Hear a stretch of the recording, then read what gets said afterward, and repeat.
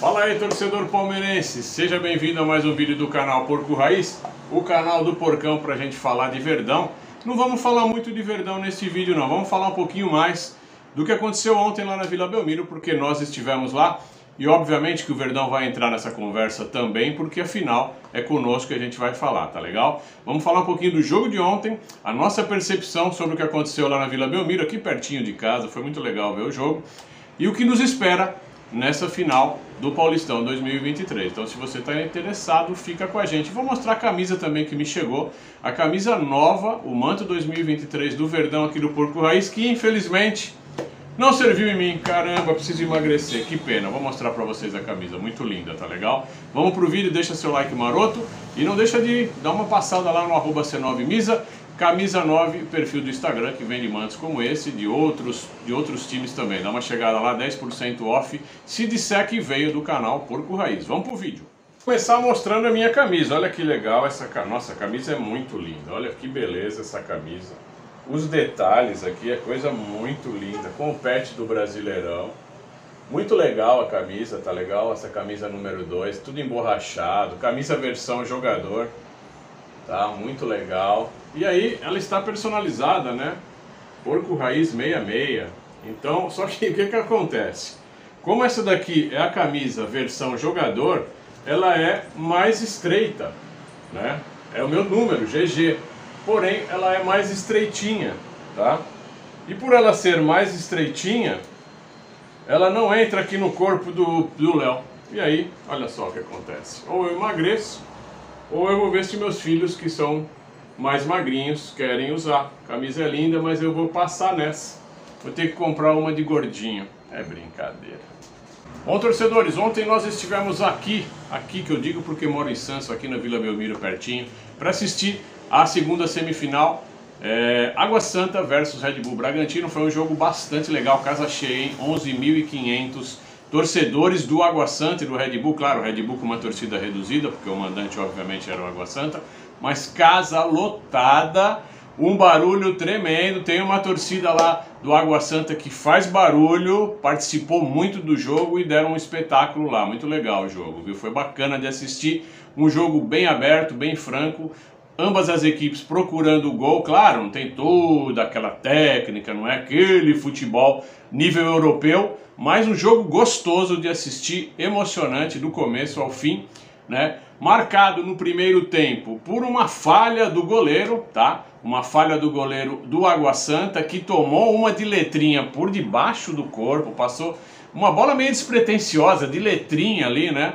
Do atacante do Red Bull que chegava na área, mas ele acabou aceitando, passou debaixo do corpo, foi um frangaço, tá? Fecha o primeiro tempo tomando de 1 a 0, mas volta e consegue reverter numa outra falha do Cleiton, né, goleiro do Red Bull Bragantino, que tentou sair jogando, querendo dar driblinho e se perdeu com a bola e acaba levando o gol do Tocantins, tá? Que não tinha como não, não fazer o gol, porque a bola sobrou limpa para ele ali na direita e foi só emendar para o gol e o jogo ficou empatado.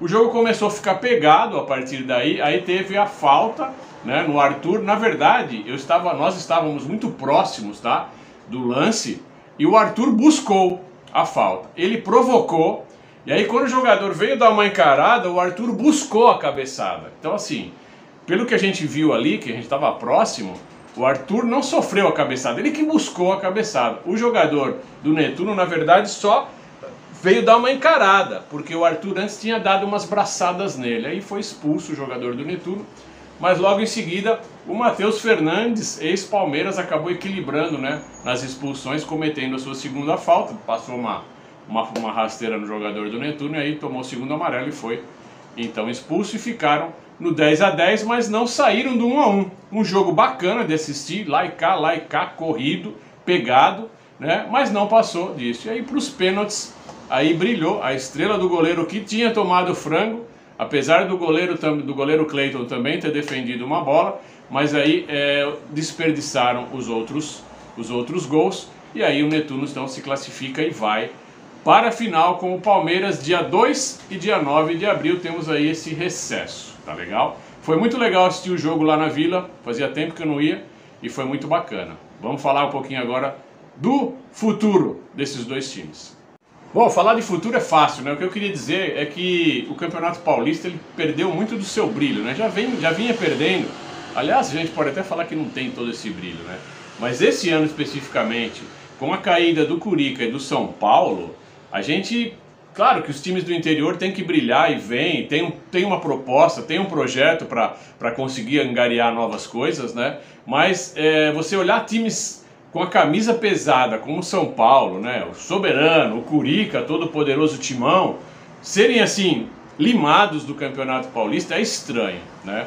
Mas legal, bacana a campanha que o Água Santa fez, né? Bacana até o Ituano ter chegado numa semifinal, bacana.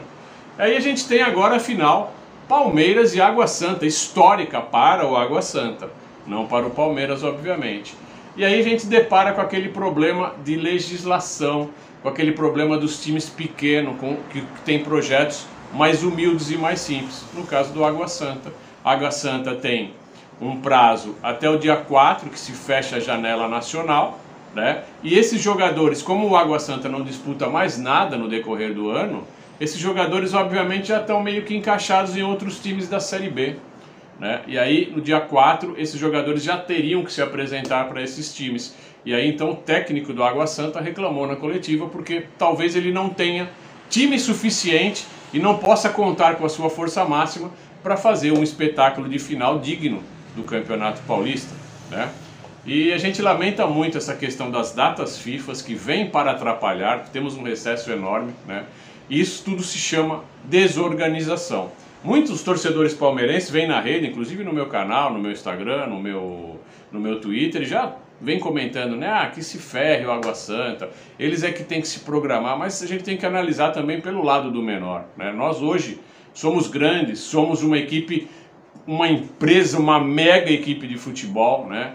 Fisicamente falando e historicamente mas a gente também tem que dar valor para os pequenos. E é legal a gente enfrentar um time pequeno, né, numa final legal, um time pequeno e já totalmente depenado. Qual o brilho, né? Qual o brilho? Qual o brilho dessa competição? Não vamos ter. Então é isso que eu queria dizer para vocês. Nessa hora a gente tem que ser um pouco mais empático, né? Se colocar no lugar do adversário. É, vamos ver o que vai acontecer. Talvez as federações, a CBF, se ajeitem aí para permitir que o técnico do Água Santa tenha o time. Eu gostaria de competir, de fato, com o time completo do Água Santa, com o que eles têm de melhor. Né? Com o time todo desmembrado, eu acho que seria um desperdício de final do Paulista. Tá legal? Vou ficando por aqui, um grande abraço para vocês, avante palestra!